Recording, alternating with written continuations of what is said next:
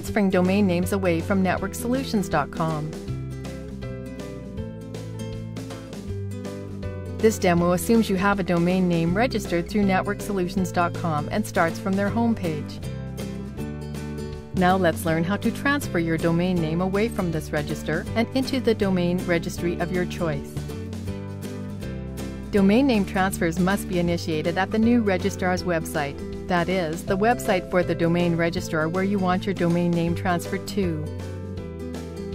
However, you must first ensure that your domain name is not locked or being prevented from being transferred out of this registry, and that's what we're going to do now. Click the Account Manager link here. Then enter your networksolutions.com username and password in the boxes here.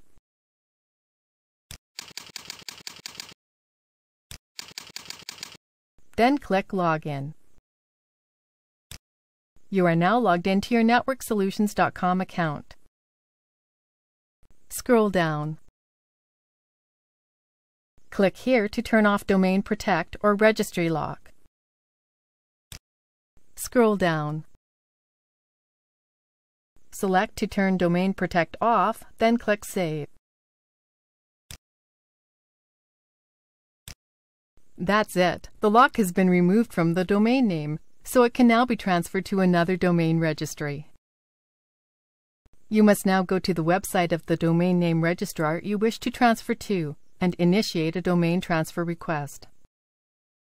When finished, log out of the Account Manager.